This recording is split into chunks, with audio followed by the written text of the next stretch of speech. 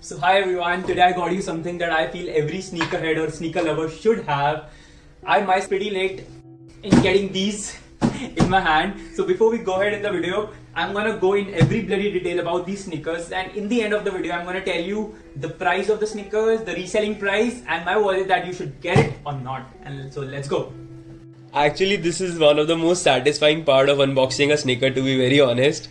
And by the way, I actually rescheduled my flight from Delhi to Mumbai just because these got delivered pretty early. The regular golden Jordan symbol, and here we go. So just look at the detailing. So it has just do it and Nike symbol.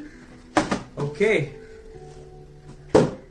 So let's go and open this box and you can see this 23 written that's the jersey number of Michael Jordan but what else matters is the box. So what I feel that this box is 10 out of 10 very clean and I think it's not broken from anywhere.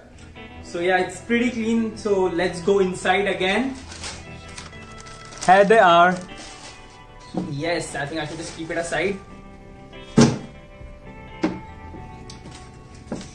So I'll be really honest that I really like the color combination with a 23 on the tongue hole and the Jordan logo above it. Let's go down to the sole part which is really a rubbery sole and it's common in all the J1s which is really durable. Now let's go to the lower part of the collar and what makes it special is the Jordan logo engraved which is only available in the Jordan 1 lows which makes it special and the common Jordan logo inside. Overall I really like it, it's really nice. And what else are we missing on? Are we missing on something? Are we missing on something? Okay, yeah. So one, so these use flat. The uh, the Nike Jordan One lows have these flat laces over them, which is really good, and you get one of the pair with black, too. And now let's wear it. So, you, so this is how they look when you wear them. Yes, you know if you see properly, this is a bit high. That gives you comfort, and the best part is this. You know, the best part is this. Overall, they look dope. Yes.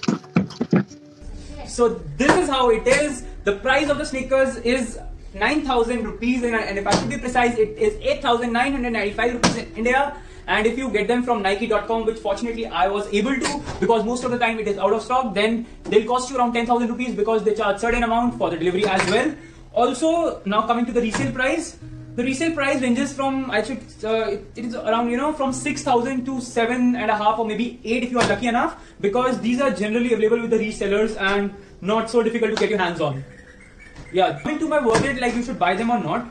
So it is actually a mixed thing because if you if if you know if you're a sneaker collector and you have that perspective that you want to buy every bloody sneaker or every bloody type of the sneaker then you should definitely buy one of these but if you are a person who just wants to you know put his or her money in one or two good sneakers, then I'll recommend you to go for something better, maybe Air Max. Obviously not better, but some Air Maxes or maybe you know Jordan 1s, MIDs. So yeah, so this is how it is. Yeah, this is, uh, this is but truly I am loving it and I'm I'm gonna keep them with me for a long time. So thanks for watching and take care.